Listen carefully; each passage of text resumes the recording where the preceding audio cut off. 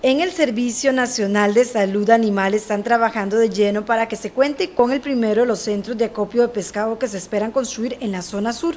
Roberto Carranza, director regional del SENASA, indicó que ya se reunió con los representantes del Instituto de Desarrollo Rural para sacar la licitación del proyecto, en este caso de la localidad de Dominicalito en Osa. Este primer proyecto tendrá una inversión de 220 millones de colones, que incluye la infraestructura y el equipamiento. Con este centro se busca que los pescadores cuenten con una productora de hielo y empaque para que el producto salga con buena calidad. Este proyecto se hace en conjunto con la Asociación de Pescadores del lugar.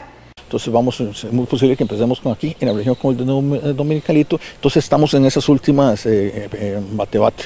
Yo espero que eh, ya un mes, mes y medio, eso salga a licitación, porque es con fondos del INDER, eso sale a licitación, hay concurso, hay todo lo, lo que se lleva para hacerlo ya en mano. Los otros centros estarían en Matapalo, Ciudad Cortés, Punta Arenas, Rincón, Pavones, Zancudo y Pilón. Los otros eh, están en fila, eh, eh, están en fila porque esto, esto, desgraciadamente o dichosamente, no sé, tiene muchos controles, ¿verdad? Desgraciadamente porque a veces se tarda mucho y dichosamente porque se asegura uno que las cosas se están haciendo bien, ¿verdad? hay unos que van un poquitito más atrasados, pero la idea es continuar con eso.